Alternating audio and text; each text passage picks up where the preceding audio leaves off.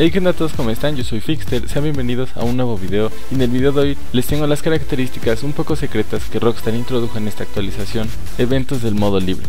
Así que sin más, no olvides de suscribirte, dejar tu like y empecemos con el video de hoy. Esta es una muy buena noticia para todos los creadores de rampas y de partidas a muerte bastante complicadas, ya que antes tenías que utilizar un glitch para poder encimar o para poder poner objetos sobre otros. Y con esta nueva actualización vas a poder utilizarlo en todos los modos, ya sea partida a muerte, último equipo en pie o carrera. Como pueden ver en la pantalla, ahí nos da la opción de apilar los objetos. Si la tienen desactivada no van a poder encimarlos, pero si la activan obviamente van a poder utilizarla de este modo. Como pueden ver es algo que está muy bien hecho por parte de Rockstar ya que nos están dando una muy buena herramienta para poder utilizarla y lo mejor es que no se buguea tanto como cuando se hacía mediante el clic. Otra nueva característica son los tipos de rotación y como ven ahora nos da la posibilidad de modificar la inclinación, de rodar el accesorio y esto te permite hacer formas más complicadas para tus creaciones. Y por último del modo creador está la opción de las plantillas. Después de que tengas un objeto listo y que quieras duplicarlo, lo único que tienes que hacer es guardarlo como una nueva plantilla. En esta parte está un poco complicado ya que tienes que seleccionar cada uno de los elementos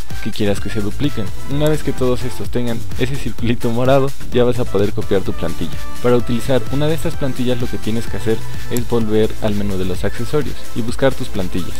Ya que estés aquí las vas a poder utilizar y como puedes ver se pueden encimar del mismo modo que si fueran objetos simples.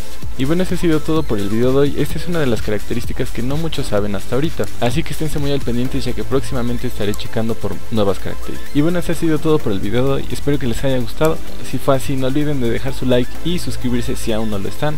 Recuerden que si quieren alguna intro para su canal, el link a mi página va a estar en la descripción. Y ahora sí, yo soy Fixter, me despido por ahora. Espero que tengan muy buen fin de semana y nos vemos el lunes con un nuevo video.